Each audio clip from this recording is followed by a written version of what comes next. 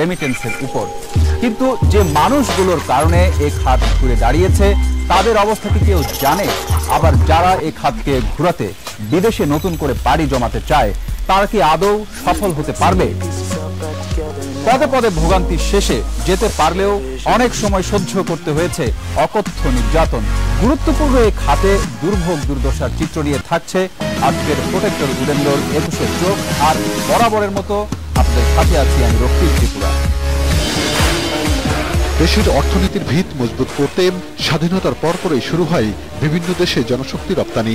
বিশেষ করে উনিশশো ছিয়াত্তর সাল থেকে আনুষ্ঠানিকভাবে মধ্যপ্রাচ্য সহ বিশ্বের বিভিন্ন দেশে শ্রমিক যেতে শুরু করে। গেল প্রায় চার যুগে দেড় কোটিরও বেশি মানুষ পাড়ি জমিয়েছেন বিভিন্ন দেশে। আর আয় বেড়ে হয়েছে এগারো লক্ষ হাজার কোটি টাকারও বেশি। উনিশশো ছিয়াত্তর সালে সৌদি আরব, কাতার, কুয়েত, সংযুক্ত আরব আমিরাত সহ বিভিন্ন দেশে প্রায় ছয় হাজার শ্রমিক পাঠানো হয়। জনশক্তি রপ্তানির ক্ষেত্রে এরপর আর পেছনে ফিরে তাকাতে হয়নি বাংলাদেশকে। কর্মনিষ্ঠার কারণে বিদেশে বাড়তে থাকে বাংলাদেশি শ্রমিকদের চাহিদা। ভাগ্যের চাকা ঘুরাতে বাড়তে থাকে বিদেশগামী মানুষের সংখ্যাও। দু হাজার সাত ও আট সালে সবচেয়ে বেশি মানুষ পাড়ি জমিয়েছেন বিভিন্ন দেশে। এই দুই বছরে সতেরো লাখেরও বেশি জনশক্তি রপ্তানি হয়েছে। এবার দেখা যাক শ্রমিকদের পাঠানো রেমিটেন্সের পরিমাণ। উনিশশো ছিয়াত্তর সালে বিভিন্ন দেশ থেকে রেমিটেন্স আসে প্রায় পঁয়ত্রিশ কোটি টাকা। আর চার যুগের মাথায় এসে এটি মোট আয়ের বড় একটি জায়গা দখল করে রেখেছে। শুধু দু হাজার ষোলো সালে আয় হয় এক লক্ষ সাত হাজার দুইশো চুরানব্বই কোটি টাকারও বেশি। কয়েক বছর মন্দা কাটিয়ে আবারও দু হাজার ষোলো সালে ঘুরে দাঁড়ায় শ্রমবাজার। এবছর আবারও প্রায় সাড়ে সাত লাখ মানুষ যায় বিভিন্ন দেশে। গেল বছরে সৌদি আরবে প্রায় দেড় লাখ ওমানে দুই লাখের কাছাকাছি আর কাতারের শ্রমিক যায় প্রায় এক লাখ বিশ হাজার। এবছর এটি দশ লাখে পৌঁছানোর লক্ষ্যমাত্রা নির্ধারণ করা হয়েছে। কিন্তু নিজেদের ভাগ্য বদলের পাশাপাশি দেশের উন্নয়নে কাজ করা এসব মানুষের খবর কে রাখে? বিদেশে যেতে এবং বিদেশে গিয়ে পদে পদে ভোগান্তিতে পড়তে হয় তাদের। বিদেশগামী শ্রমিকদের বিভিন্ন সমস্যা ও সম্ভাবনা নিয়ে থাকছে একুশের অনুসন্ধানী চোখের আজকের পর্ব। দর্শক, এই বিষয় নিয়ে কথা বলব আমাদের সহকর্মী সাইদুল ইসলামের সাথে। তিনি আমাদের বলবেন আরও কিছু অজানা তথ্য। সাইদুল, স্বাধীনতার ঠিক পরপর থেকেই আমাদের জনশক্তি রপ্তানি শুরু হয়েছিল। আজকে প্রায় চার যুগ হয়ে গেছে। কিন্তু আমরা প্রতিবারে যখন জনশক্তি রপ্তানির বিষয়গুলো সামনে আসে, আমরা নানা অনিয়মের চিত্র দেখতে পাই, শুনতে পাই এবং অনেক কষ্ট করে যাচ্ছেন, অনেক রকম প্রতারণার শিকার হচ্ছেন। এত সমস্যা, এত প্রতিকূলতার মধ্যেও তারা আমাদের রেমিটেন্স নিয়ে আসছেন। কিন্তু এই প্রতিকূলতা, এই সমস্যাগুলো কাটিয়ে ওঠার আসলে উপায় কি? রক্তিম, আপনি ঠিকই বলেছেন যে উনিশশো ছিয়াত্তর সাল থেকে আমাদের আনুষ্ঠানিকভাবে ম্যান পাওয়ার বিদেশে রপ্তানি করা শুরু হয়েছে, সেই থেকে অর্ধদ্বীপ ম্যান পাওয়ার যাচ্ছে। আপনি যদি পরিসংখ্যান না তাহলে বলব যে কোটি মানুষের বেশি কিন্তু বিভিন্ন দেশে ছড়িয়ে আছে বাংলাদেশে। যে ব্যক্তি বিদেশ যাবে বা বাইরে যাচ্ছে, সেক্ষেত্রে কিন্তু সে তার কোনো আত্মীয় স্বজন বা এলাকার কোনো যারা বিদেশে আছেন, তাদের একজনের মাধ্যমে আসেন। প্রতারণার শিকার শুরু হয় সেখান থেকেই, কারণ সে যাকে বিশ্বাস করে টাকাটা দিচ্ছে, সেই তার অনেক ক্ষেত্রে তার টাকাটা খেয়ে ফেলছে। এরপরে যদি আপনি বিভিন্ন প্রতিষ্ঠানে আসেন, সেখানে দেখতে পারবেন যে প্রতিষ্ঠানগুলো বিদেশে নিচ্ছে, তারা কিন্তু সরকার নির্ধারিত কোনো টাকাই কিন্তু নিচ্ছে না। এছাড়াও আমরা দেখছি হাজার সেই সময় মালয়েশিয়ায় বিভিন্ন মানুষ কিন্তু পাচার হয়েছে। আমরা দেখছেন যে সাগরের মধ্যে বা থাইল্যান্ডের উপকূলে আমরা গণকবরের সন্ধান পেয়েছি বা সেখানে মানুষকে কিন্তু মেরে সেখান থেকে কিন্তু বিভিন্নভাবে টাকা এখান থেকে আদায় করছেন। তারপর থেকে কিন্তু দুই সালে অভিবাসন একটা আইন হয়েছে। অগ্রগতি কিছুটাও হলেও হয়েছে। তবে সাম্প্রতিক সময় যুদ্ধ বিধ্বস্ত দেশ ইরাককে পাঠিয়ে কিন্তু বেশ কিছু এজেন্সি তারা শ্রমিকদের সাথে প্রতারণা করছে। এই ক্ষেত্রে প্রতারণার পরিমাণ আগের চেয়ে কমছে, এটা বলা যায়। তবে এখনও কিন্তু থেমে নাই। সেক্ষেত্রে সরকারকে কঠোর পদক্ষেপ নেওয়া ছাড়া বা আইনের যথাযথ প্রয়োগের ছাড়া আসলে এই প্রতারণা কোনোভাবেই বন্ধ করা সম্ভব হবে না।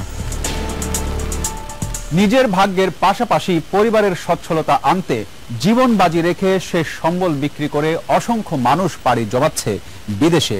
নিউজিল্যান্ড যাওয়ার জন্য পাঁচ থেকে দশ লাখ টাকা এজেন্সিকে দিয়ে বিপাকে পড়েছেন অনেকেই। শুধু তাই নয়, অভিনব কায়দায় জাল ভিসা দিয়ে কোটি কোটি টাকা আত্মসাতের প্রমাণ রয়েছে একাধিক প্রতিষ্ঠানের বিরুদ্ধে। Global career support. রাজধানীর শাহজাদপুরে আলিশান অফিসে জালিয়াতির ব্যবসা শুরু করে কয়েক মাস আগে। নিউজিল্যান্ড অস্ট্রেলিয়া মালয়েশিয়া সহ কয়েকটি দেশে পাঠানোর কথা বলে প্রায় কোটি টাকা হাতিয়ে নিয়ে গা ঢাকা দেয় প্রতিষ্ঠানটির কর্মকর্তারা। ওনাকে টাকা দেব বলে এখানে আনছি তা না হলে ওনাকে খুঁজে পাওয়া যাইতেছে না। টেলিফোন দিলে বলে যে আমি অমুক জায়গাতে আছি, ওখানে নিউজিল্যান্ডের ইয়াইসে টাকা লই আপনি ওখানে আসেন। আমার ভাই ছিল বাহারাইন, হ্যারো আমার হাতে ফোন করাই আনাইছে। হ্যাঁ চাকরি করে পঁচিশ হাজার টাকা বেতনে আর নিউজিল্যান্ড চাইলে হ্যাঁ রে, এক লাখ পনেরো হাজার টাকা বেতনে চাকরি দিবে। ইন টোটাল আমার চোদ্দ লাখ টাকা দেওয়া আর কি। কয়েক মাস ধরে প্রতিষ্ঠানটিতে ধর্ণা দিয়ে কোনো কর্মকর্তাকে না পেয়ে হতাশ হয়ে পড়েন তারা। এক পর্যায়ে ভুক্তভোগীদের চাপে নিউজিল্যান্ড সহ বিভিন্ন দেশের জাল ভিসা তৈরি করে প্রতারণার আশ্রয় নেয় গ্লোবাল কেরিয়ার সাপোর্ট। যে জাল এটা আমি জানতে পারছি অনেক পরে। টোটাল দিচ্ছে হলো আমি পঁয়ত্রিশ লক্ষ নব্বই হাজার টাকা। আমি সিঙ্গাপুর ছিলাম ওর সাথে আমার দেখা হয়। দেখা হওয়ার পরে ফোনে বলে যে আমি বিদেশ লোক নেই ইংল্যান্ড নেই তারপর হচ্ছে নিউজিল্যান্ড নেই। আমি কই ঠিক আছে ইংল্যান্ড কত টাকা লাগবো? যাইতে কয় সাড়ে পাঁচ লাখ টাকা। আমার কোনো ডকুমেন্টস নাই বিশ্বাস করে আমি করছিলাম এটা। বাহারাইন গেছিলাম স্যার গার্মেন্টস বিষয়ে। ওখান থেকে রিজাইন দিয়ে ওই কোম্পানি থেকে চলে আসছি স্যার। আসার পরে এখন আমার অনেক দিন ধরে ঘুরাতে এর ফলে আরও সমস্যায় পড়েন বিদেশগামীরা। নিজের সঞ্চিত সম্পদ হারিয়ে দিশেহারা হয়ে পড়েন তারা। আর পাসপোর্ট আটকে রাখায় অনেকের অন্য দেশের ভিসার মেয়াদও শেষ হয়ে যায়। আমাদেরকে নিউজিল্যান্ডের ওয়ার্ক ভিসা দিবে। Dairy farm. এখন আমি সাড়ে দশ লক্ষ টাকা ওনাদের কাছে পাও না। আমার পাসপোর্টও দেয় না টিকিটও দেয় না বিষও দেয় না। দেশে অনার্স করে কোনো চাকরি পাইবে না কিছুই পাইবে না। তোমাকে আমি বিদেশ নিয়ে যাব বিদেশে অনার্স করবা। আমার লাইফ টাকা তাও তোমাকে ফেলে দিচ্ছি পরীক্ষা দিতে দেয় না উল্টো আমাদের তিন লক্ষ টাকা নিচ্ছে এরপর আবার নতুন কয়েকজনের কাছ থেকে টাকা নেয়ার জন্য অফিসে গেলেন প্রতিষ্ঠানটির চেয়ারম্যান মেহেদি ফাহাদ তানজিরকে আটকে দেয় ভুক্তভোগীরা। তাদের ম্যানেজ করার চেষ্টা করলেও সফল হননি। কার কাছে টাকা পয়সা দিচ্ছে আপনি একটু জিজ্ঞেস করুন সবাই আর জাল ভিসার কথা স্বীকার করলেন চেয়ারম্যান নিজেই। তিনি জানান এগুলো ব্যবস্থাপনা পরিচালক ফাহাদ হোসেন অবি করেছেন। টাকাও নিয়েছেন তিনি। ভিসা দিয়ে টাকা পয়সা নিচ্ছে তখন আমি যেটা জানি না অবকাশ নেই। আমি যেটা অবগত না। তো এই ছেলেটাকে আমি চিনি সে হোটেলে কাজ তার থেকে অবি উত্তর থেকে টাকা নিছে। তারপরে ওই যে একটা ছেলে তাকে ছয় মাস বাসা রাখছে ওই টাকাটা নিছে। আপনি যদি অফিস ছাড়া দিয়ে ভাগে যান তাহলে আপনি দুই নম্বর। এখন আমি তো অফিসে আছি ইনস্ট্যান্ট আমি অফিসে আমি অফিসে থাকে দুই নম্বরই করব কেন? পাওনা টাকা ফেরত দিতে অস্বীকার করায় একুশের টিমই পুলিশকে জানায়। এরপর গুলশান থানায় নিয়ে যাওয়া হয় তাদের। এরপর টাকা আত্মসাৎকারী ব্যবস্থাপনা পরিচালক ফাহাদ হোসেন অভিকে একুশের অনুসন্ধানী টিমের সহযোগিতায় উত্তরা থেকে আটক করা হয়। তবে অভিযান চলার সময়ে বাসার ভেতরে যেতে দেওয়া হয়নি একুশের টিমকে। বিদেশে নেওয়ার কথা কয়ে নিতে পারতেছে না। এই ক্ষেত্রে অভিযোগের ভিত্তিতে তাকে নেওয়া হচ্ছে। পরে ভুক্তভোগীদের টাকা ফেরত দিতে দীর্ঘ সময় চায় প্রতারক রাম। তবে পুলিশের সহযোগিতায় তাৎক্ষণিক পাঁচ লাখ আর পরে দুই দফায় বাকি প্রায় সত্তর লাখ টাকা ফেরত দেওয়ার একটি চুক্তিপত্র হয়। এবার যাওয়া যাক অন্য একটি প্রতিষ্ঠানে। মিরপুরের সেনপাড়া পর্বতা এলাকার সিটি সাইন নাম এটির। সিটি সাইনের বিরুদ্ধেও জাল ভিসা দিয়ে প্রতারণার অভিযোগ রয়েছে। কানাডায় ওয়ার্ক ভিসা দেওয়ার নামে দুইজনের কাছ থেকে একত্রিশ লাখ টাকা হাতিয়ে নেয় প্রতিষ্ঠানটি আমাদের দুইজন ছিলাম আমরা দুইজনের কাছ থেকে একত্রিশ লাখ টাকা চুক্তি হয়েছে। শ্যামলি স্কোয়ার একটা দোকান ছিল লিমিটেশন জুয়েলারি ওই দোকানটা বিক্রি করে টাকা দিয়েছিলাম। এখন আমি আজকে প্রায় চার মাস ধরে নিঃস্ব। পাসপোর্ট নিয়ে এইভাবে আমাদেরকে বেকা দিয়ে ফেলে আমাদের থেকে পুরো টাকাই নিয়ে দিল পরে কোনোভাবে তো কাজ হয় না কাজ দুই নম্বরই কাজ করে দিল দুই নম্বর স্টিকার লাগিয়ে দিল পাসপোর্টে। তবে স্থানীয়দের সহযোগিতায় কিছুদিন আগে পনেরো লাখ টাকা ফেরত দেওয়া হয়। বাকি টাকাও ফেরত দেওয়ার কথা জানিয়েছেন প্রতিষ্ঠানটির মালিক।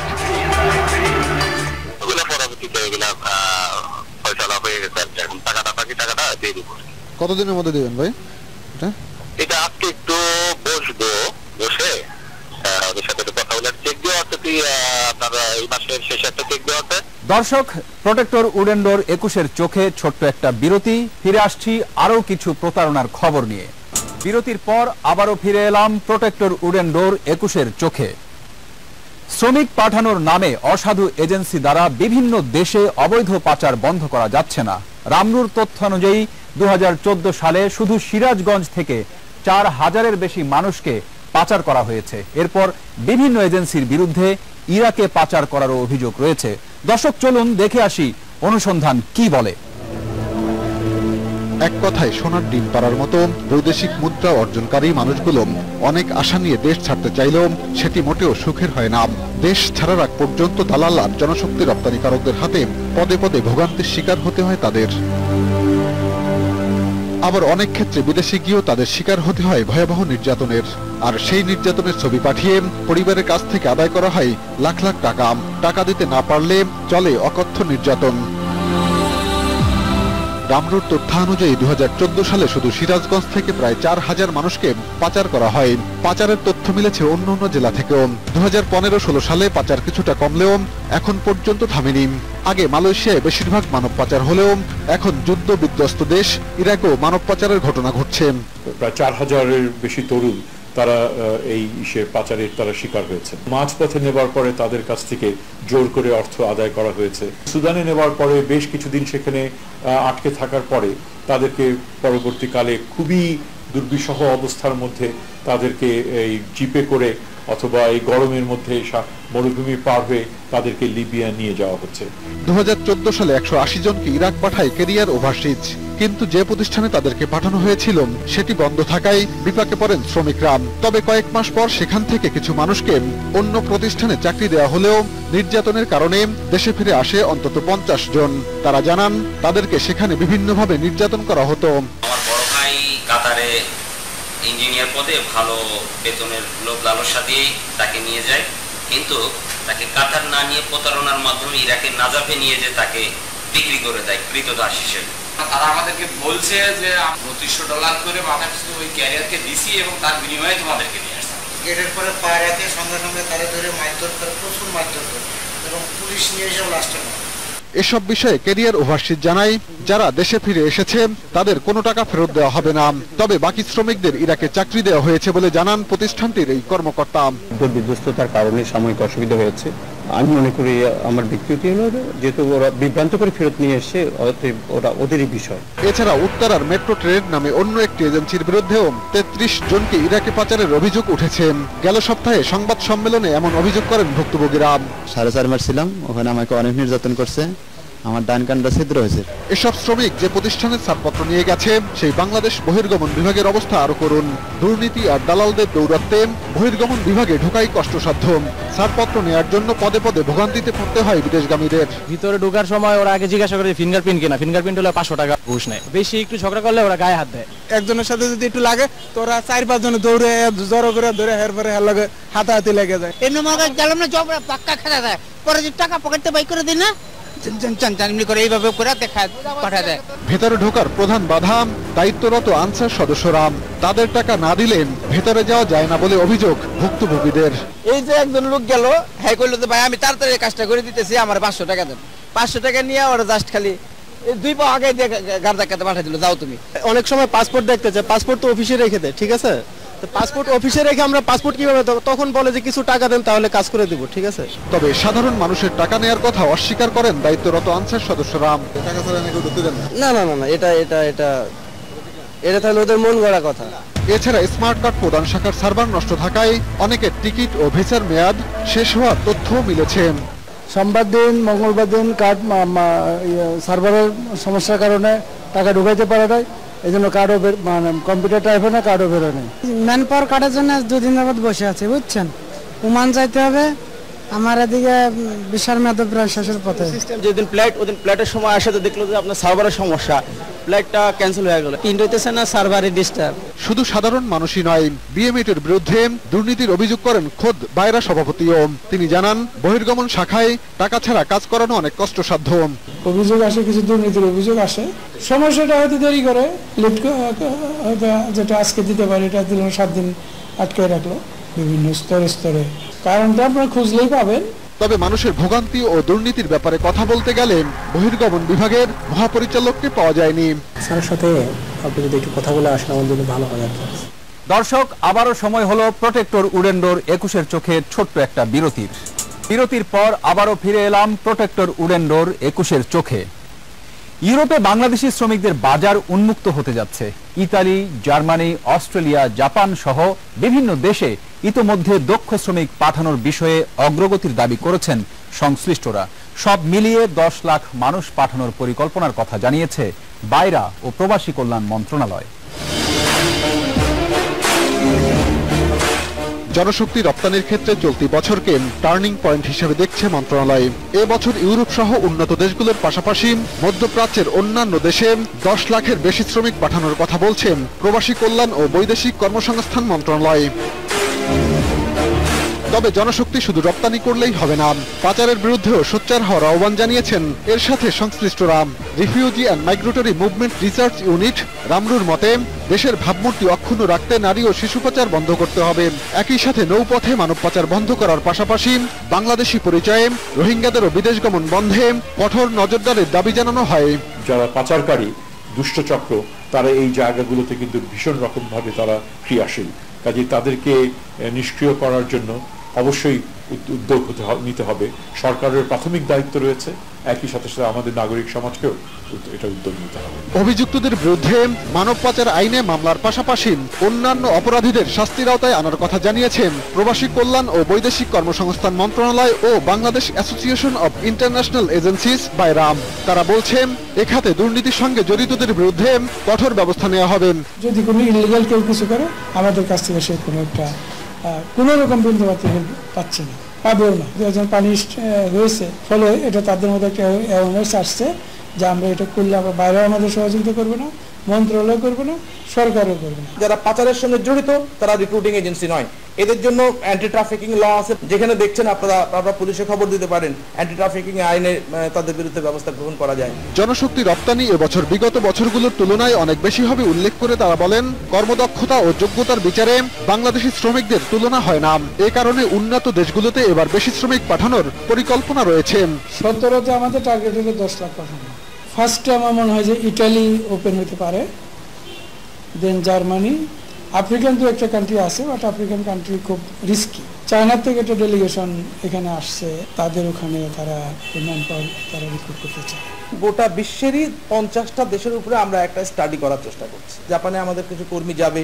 আমরা রাশিয়ার সাথে এমইউ করার চেষ্টা করছি। যে হারে প্রত্যেক দিন বৈদেশিক কর্মসংস্থান হচ্ছে। এতে করে আমরা এন্ড অফ দি ইয়ার আমরা হয়তো বলতে পারি প্রায় দশ লক্ষ লোক আমরা আমরা বৈদেশিক কর্মসংস্থানের ব্যবস্থা করতে পারব ইনশাআল্লাহ।